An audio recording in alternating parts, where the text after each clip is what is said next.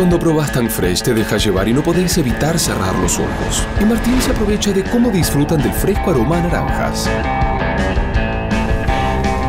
Lorena de cómo disfrutan la texturita.